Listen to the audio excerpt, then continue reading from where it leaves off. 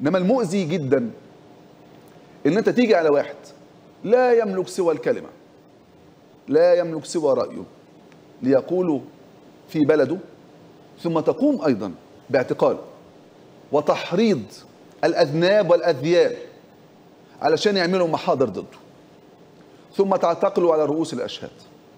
اليوم واحدة من الجلسات اللي شهدتها محاكم مصر هي واحدة من الجلسات اللي هتدون أيضا في تاريخ المؤسسة القضائية المصرية.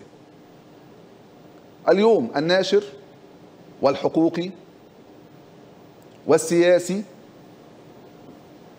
والإعلامي الوطني هشام قاسم حضر إلى المحكمة في أولى جلساته النهاردة التي عرض في عرض محبوسا في المحكمة. الغريب بقى الأستاذ هشام قاسم لما عرض النهارده على هيئة المحكمة الموقرة اولا الراجل كان مضرب عن الطعام وراجل أكد أيضا وهيئة الدفاع عنه إنه لم يجلس على كرسي مطلقا طوال الفترة اللي فاتت والراجل نايم على الأرض والراجل لم تعطى له أي حقوق من حقوق من حقوق حتى السجين رغم إنه لسه سجين ليس سجين أو المحبوس احتياطيا. شوفوا النهارده ناصر أمين بيتكلم إن الراجل جه المحكمة مضرب عن الطعام والرجل يبدو على هيئته ويبدو على شكله. الإجهاد واضح جدا. التعب واضح جدا. لم يسمح له بالزيارة. لم يسمح له. أيضا أنا مش فاهم النهارده المحكمة اللي دعوة سب وقذف يكون برضه موضوع زجاج. يمنع المتهم إن هو حتى يقدر يقول للقاضي وايه إيه مظلمته. محاكمة من المحاكم النهارده حقيقة المؤسفة جدا لرجل تاريخه الطويل كله في كلمة حق كله للدفاع عن بلده. وتشهد المنظمة المصرية لحقوق الإنسان واحدة من أولى المؤسسات الحقوقية في مصر. اللي الراجل ده كان على رأسها بهذا الطريق الطويل. هشام قاسم اليوم النهارده بيعبر لنا عن 60 ألف معتقل في المعتقلات زي الأمر. ممنوع زيارات. ممنوع ياخد أدنى وأبسط حقوقه وهو محتجز. لم يلتقي بأهله. لم يلتقي بمحاميه. ثم كان مكان أن يعرض على القاضي وهو مضرب عن الطعام فيمدد حبسه للجلسة اللي جاية بعد أسبوع. دي دعوة سب وقذف يا فندم. أنا الماثل أمامكم حضرتك المدعو أحمد عطوان. عليا بدل القضية 50 60 قضية سب وقذف لما كنت صحفي. بدخل في المحكمة الجلسة تتأجل أطلع بيتي وارجع تاني. الكلام ده كلام مبارك. الآن يقدم محبوسا. ثم تؤجل القضية ويبقى محبوسا. هشام قاسم أي إمعان ده؟ أي إمعان في لأي ناشط سياسي؟ إن أنت تتعامل معاه بكل هذه القسوة والعنت واللدد حتى أمام هيئة قضاء. ما دي واحدة من الحقيقة الأشياء اللي أنا متوقف قدامها كتير أول الفترة دي. إن المؤسسة القضائية للأسف. يعني أصابها ما أصاب بعض المؤسسات الأخرى بعد هذا الانقلاب العسكري. طبعا حضراتكم نروح نشوف يعني ما قال الأستاذ ناصر أمين. كلام مهم جدا لأن الأستاذ ناصر أمين في البوست بتاعه بيعدد عدد من الأشياء. بيقول لك في 20 مارس 2003 وفي أول يوم للغزو الأمريكي للعراق حدثني صاحبي وقال لي أنا متابع الكارثة اللي بيعملها الامريكان في العراق دلوقتي.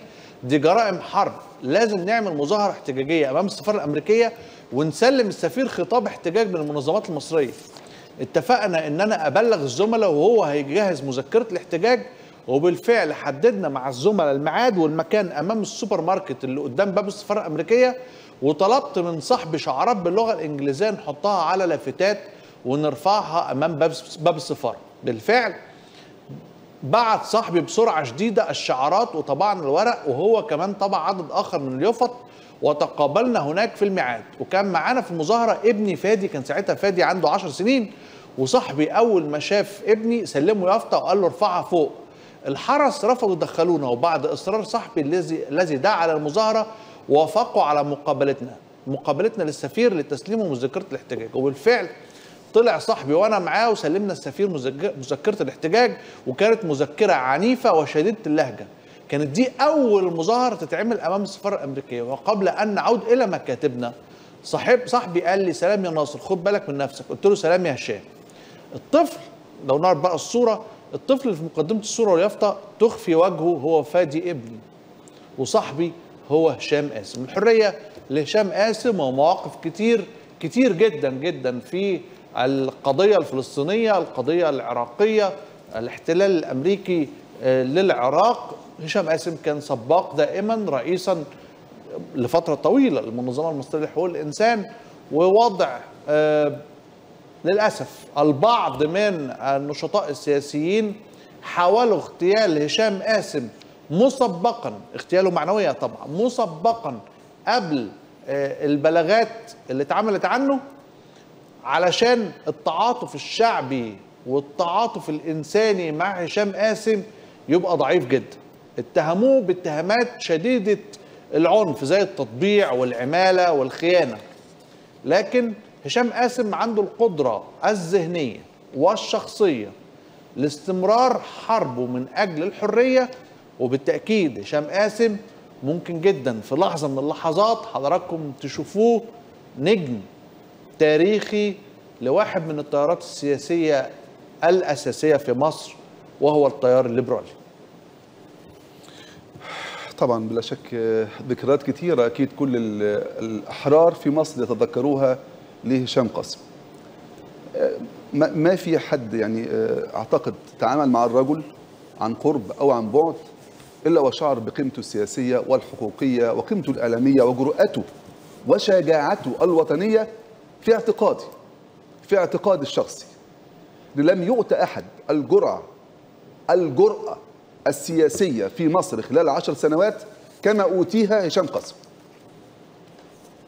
إن يقول الأعور أنت أعور والفاسد أنت مفسد وللظالم أنت ظالم والمخرب والفاسد أنت مفسد وأنت مخرب. ظل عشر سنوات يشير على ما يحدث في هذا البلد. والراجل كان يتوقع ربما إن هو ممكن جدا يتعرض لهذا الأمر.